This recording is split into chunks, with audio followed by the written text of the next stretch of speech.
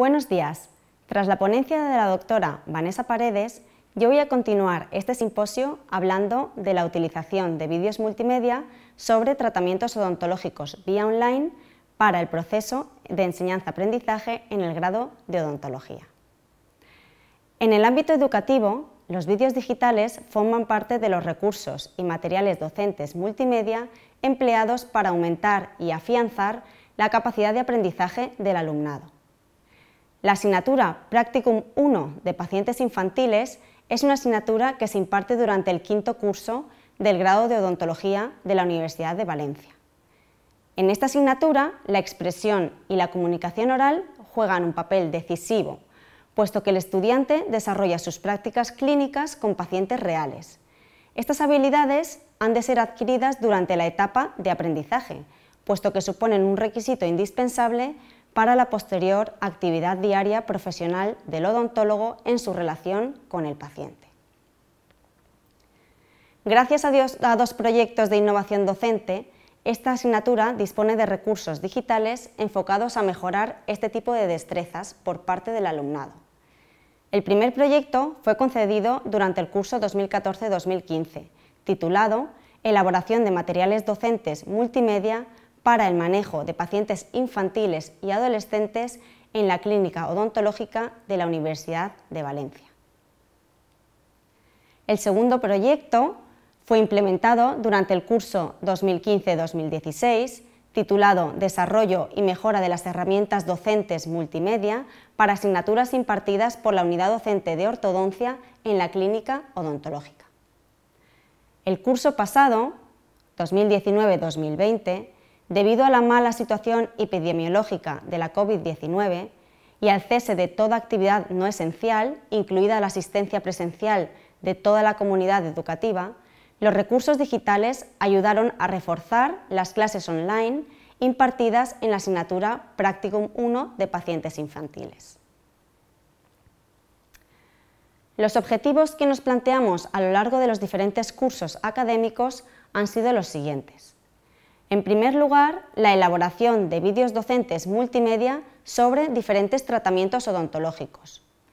Y en segundo lugar, el empleo de los vídeos docentes multimedia como herramienta digital de refuerzo durante las clases online impartidas durante el segundo semestre del curso 2019-2020, coincidiendo con la COVID-19.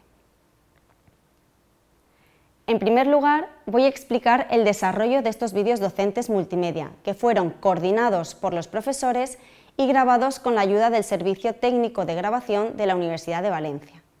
El objetivo es que los vídeos elaborados fueran cortos y concisos, de no más de dos minutos de duración y que explicaran algo muy concreto y muy detallado.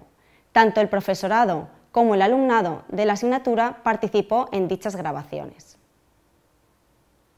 Los tratamientos que se grababan fundamentalmente eran la aplicación de las diferentes técnicas anestésicas, el aislamiento del campo operatorio dental y la obturación de diferentes cavidades dentarias. Estos vídeos fueron llevados a cabo tanto en modelos de simulación como en pacientes reales, que acudieron a la clínica odontológica de la Universidad de Valencia para recibir tratamiento. Para los vídeos que se grababan sobre pacientes reales fue necesaria la obtención del consentimiento informado, en el que se puede leer básicamente que el padre o tutor de estos pacientes cede todos los datos respecto que van a ser grabados para la posterior aplicación con fines docentes y con fines de ámbito universitario. Para la locución de los vídeos se procedió de dos maneras diferentes. Algunos fueron locutados de manera síncrona a medida que el procedimiento estaba siendo realizado. Otros, en cambio, fueron editados previamente y posteriormente se locutaron en el Servei de Formació Permanent de la Universidad. La Universidad de Valencia, a través del Servei d'Informàtica y del Centre de Recursos Educatius per l'Aprenentatge Multimedia, ha puesto en funcionamiento servicios relacionados con la grabación en vídeo y la generación de material multimedia, que se ofrecen a todo el personal de la universidad. Estos contenidos posteriormente pueden quedar publicados en el servidor multimedia de la universidad, que se llama MMedia. La publicación de estos contenidos multimedia en el servidor MMedia permite varias opciones. En primer lugar, permite almacenarlos en el servidor multimedia de la universidad para una posterior publicación o referencia. En segundo lugar, permite enlazarlos directamente desde el aula virtual y en tercer lugar permite visualizar estos vídeos desde Internet según diferentes modalidades de acceso, bien a través de la IP, bien utilizando una contraseña específica o bien siendo empleados en acceso libre que sean accesibles a todos los públicos. Los vídeos se editan y se realiza su montaje con el material recopilado de las diversas fuentes. Esta edición se realiza principalmente en formato de archivo MP4. Cada uno de los vídeos dispone de un link en el que se nos permite tener la trazabilidad del mismo y poder disponer de él para visualizarlo a través de las modalidades explicadas.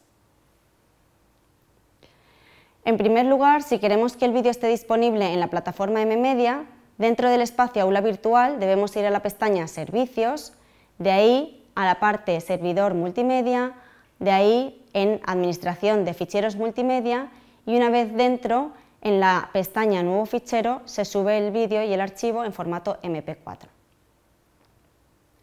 En segundo lugar, si queremos que una vez que tenemos el vídeo realizado, este esté disponible para los alumnos a través del aula virtual de la universidad, debemos eh, acceder a través de la web con nuestra identificación de empleados entramos en el curso deseado, en este caso 2019-2020, abrimos la asignatura correspondiente, Practicum 1 de pacientes infantiles, creamos la carpeta titulada Vídeos docentes o también, eh, en este caso, casos clínicos en sustitución de prácticas presenciales por motivo COVID-19 y copiamos el link que se ha generado.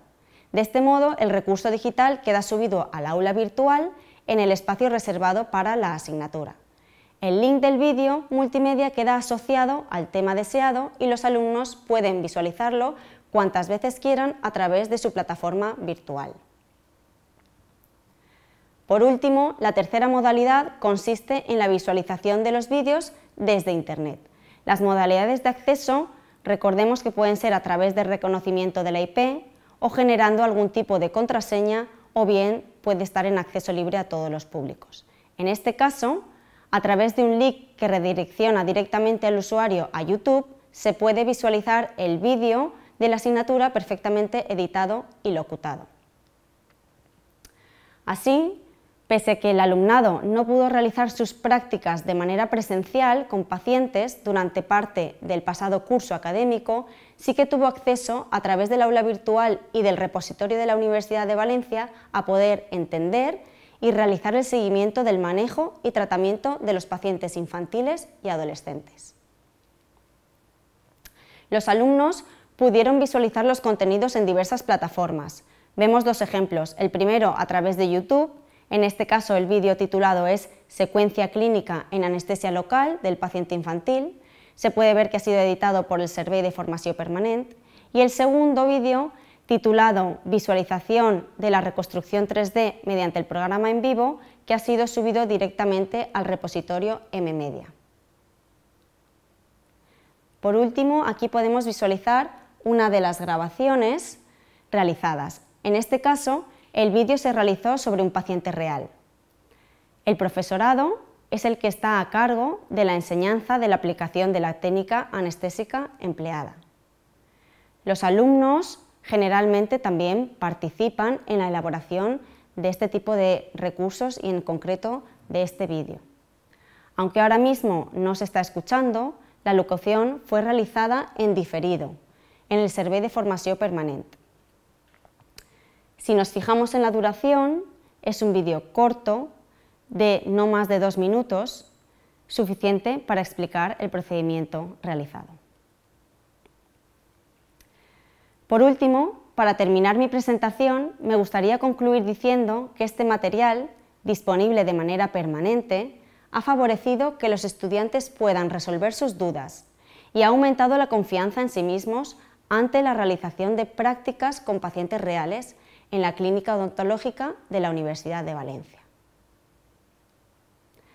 Muchas gracias. A continuación, la doctora Beatriz Tarazona hablará de estrategias de enseñanza virtual y su efectividad en diferentes grados de la Universidad de Valencia.